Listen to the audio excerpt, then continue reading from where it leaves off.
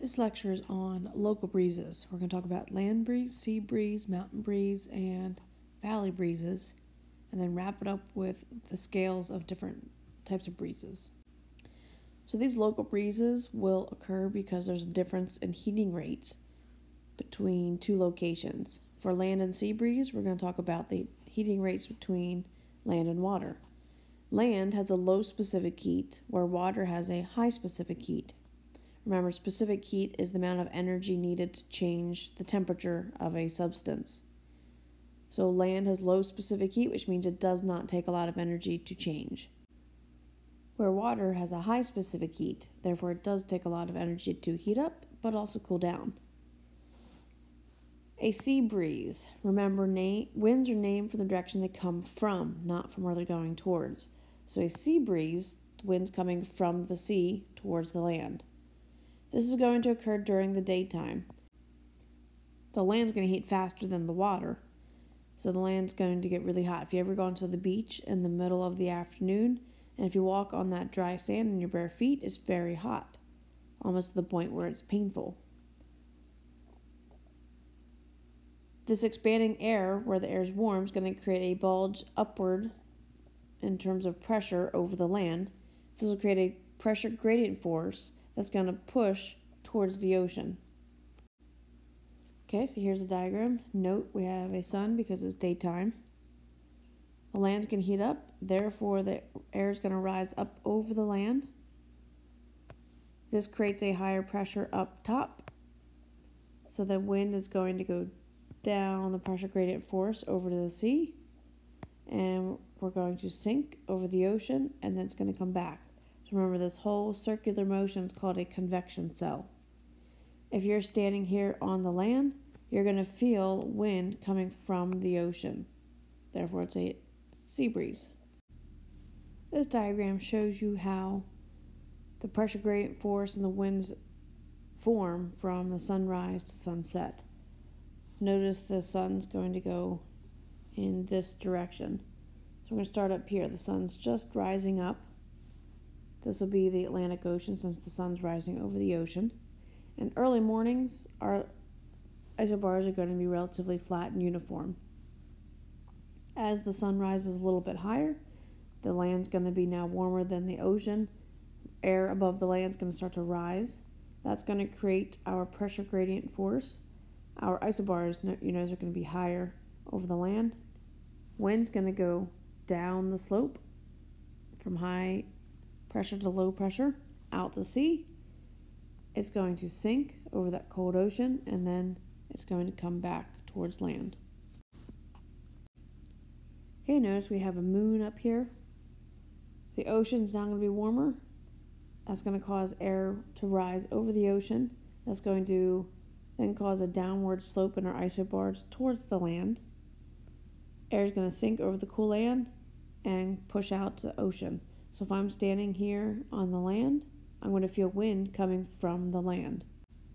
Think about a time you maybe took a walk on the dry sand late at night or in the very early morning. If you go in your bare feet, it's going to be pretty cold, almost to the point where it's uncomfortable. So that gives you an idea of how the land's going to be really hot during the day where it's uncomfortable to your feet versus at night when it's really cold. The ocean water really doesn't change temperature from day in and day out. For mountain and ba- valley breezes, there's going to be a very similar concept to land and sea breeze. One part of the land is going to be heating and cooling more rapidly than the other part, causing a wind. So, valley breezes, they're going to be the ones that occur during the daytime, where mountain breezes are at night. For valley breezes, the thin air above the high mountainsides, they're going to warm quickly, much like the sand did in our land and sea breeze example.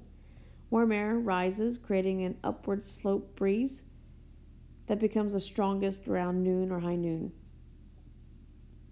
Mountain breezes occur during the night. The high mountain slopes are going to cool very quickly, just like the sand did. This cold air, dense air is going to form a local high pressure area, and the pressure gradient is going to drive the breeze down the slope towards the valley. This is going to be the strongest just before sunrise. One big example is the Hiraoshi breeze this occurs along the mountainous shoreline of Lake Biwa in West Tokyo, Japan. Katabatic winds is a another example. Strong mountain valley breezes due to steep sides, typically with snow-covered plateaus. Another example closer to home is in Colorado and the Columbia River. Okay, so valley breezes again occur during the daytime. This thinner air warms really quickly, especially when it's facing the sun, when the slope is facing the sun. That's going to cause this warm air to rise up. It's going to come over, it'll sink down, and then this warmer air will again rise up. Okay, mountain breeze comes from the mountain. This is going to occur at nighttime. The air up here is going to cool pretty rapidly. It's going to have a higher density. It's going to sink down into the valley, and the valley will cause the air to warm up. It'll rise and finish the convection cell. We have two examples the Chinook winds coming from the Rocky Mountains, and the Foehn winds coming from the Alps. Okay, our last topic is the size of our winds. We have four main categories microscale, micro means small, mesoscale, meso means middle, synoptic, and the planetary scale that's going to be the largest. Microscale winds are categorized with winds that are less than a kilometer in size.